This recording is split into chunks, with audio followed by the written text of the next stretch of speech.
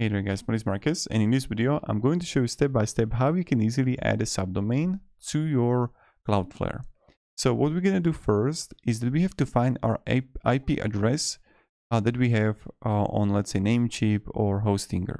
How are you going to find it?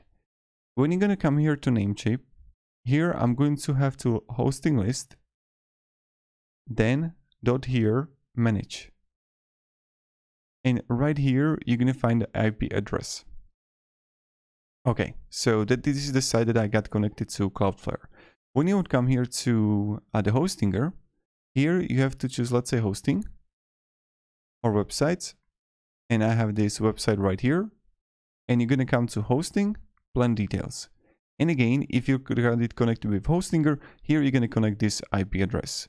So you can always locate somewhere the IP address. Then what you want to do is go to records.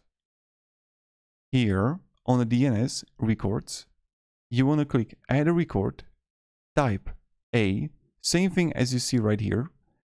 To create new subdomain, you would first add a subdomain content at your host. Then you would create a corresponding AAA CNAME record for that subdomain. So let's say it's going to be blog or store. So first, I'm going to add a type www address. Okay. So now i'll go a and here i'm going to write let's say info. And like this. So this is the uh, ip address from the Namecheap that i got connected. I'm going to click add record.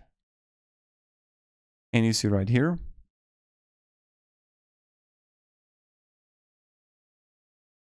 Ah i didn't click save info website that is here points to this uh, IP address. And you see right here that we have it. So this is how you're going to do it.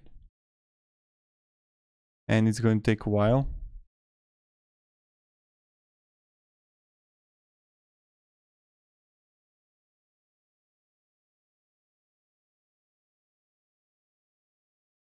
See, we have it right here.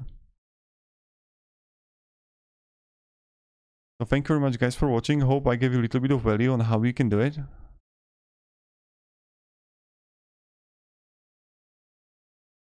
And have a great day and goodbye.